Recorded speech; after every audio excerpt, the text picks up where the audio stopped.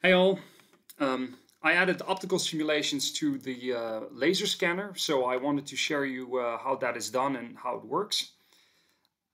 So the, the module at, at, at the moment um, yeah, is, is not, not good enough to, to bring in uh, production. Um, the, there are some questions. So for instance, um, you see that the, uh, the photodiode is put in position by springs. You can't see the springs, but they are here underneath, uh, underneath this board and and that is done because I was not really sure where the laser would hit the photodiode. Okay, now let, let's first see how, how these rays are drawn. So now I will remove uh, the rays or the simulation. And I made an, an extra workbench which only works for, for my uh, design. And in this workbench you can uh, run a function called draw rays, which sort of uses the object as a digital twin and starts to calculate the optical properties. Okay, so it's finished running. So what does it draw? You see here that it draws the focal point. So this is the position of the, the focal point. And the lens is, or the laser is in focus between these two lines. And I will come later at how you calculate that. This is the line of the laser when the prism is not tilted. So these are the edges of the scan line and these are the edges within where the, the photodiode is hit. Uh, so here we see how it hits the photodiode. So these are the two most extreme rays and uh, it hits the photodiode there. So, so it's not optimal. Um, yeah, and you can see also where it hits on the mirror.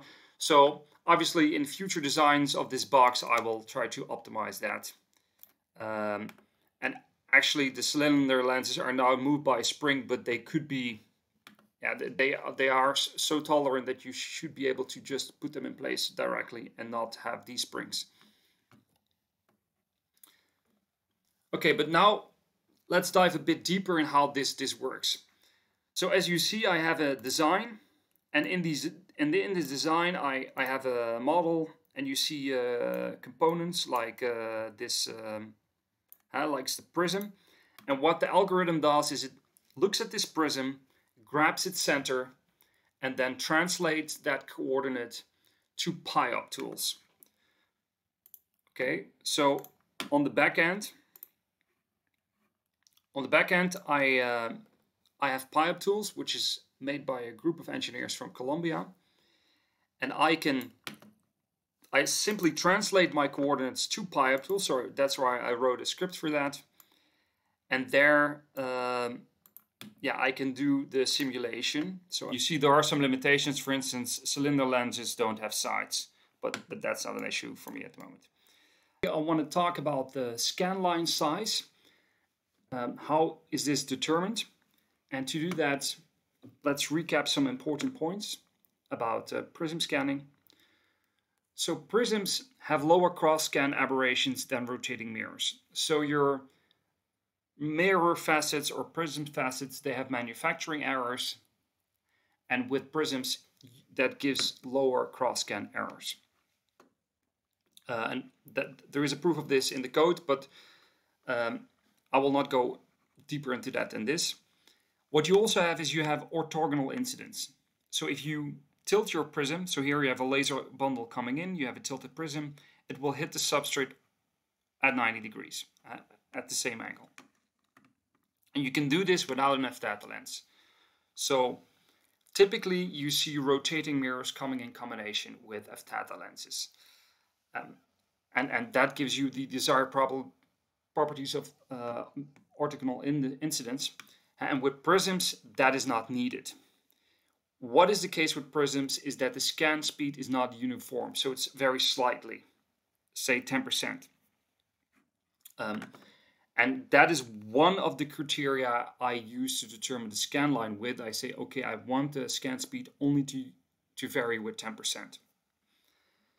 Another criteria you can use is you can say, okay, if the prism is tilted, the spot gets slightly distorted and you can say okay that that that is not a problem but i want the scan line to be so wide that 93% uh, of all the energy still ends up in the spot okay so now let's see how that's implemented in the code.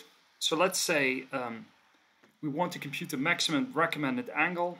We say the Strehl ratio has to be 70% and the minimum energy I require is 10%. We can then run analytical.py and then you see that um, it recommends a line length of 15.8 millimeters and we have a duty cycle um, of 80%, which is very high. Um, and the exposure is Strehl limited. So, so that is what's limiting us from, from creating an even wider scanning angle. Um, and the, yeah, and at the center, uh, so we have 60% of the speed of the edges of the scan line. So, so we would have to compensate for that with the laser diode, uh, with pulsing the laser diode, but we could make uh, much longer scan lines than you saw in the video earlier where you used 5 millimeters.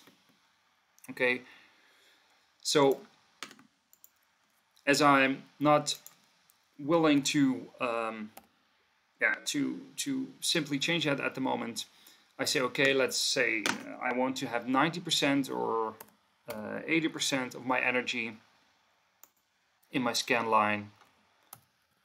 Um, and I then do the computation.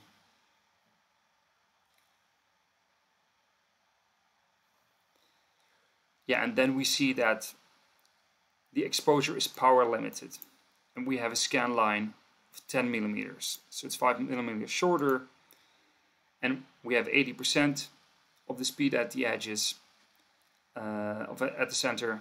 Uh, so, so, so that is how you can determine, okay, what if I have this uh, uh, final spot size, what kind of prism dimensions do I have and how do I compute the scan line?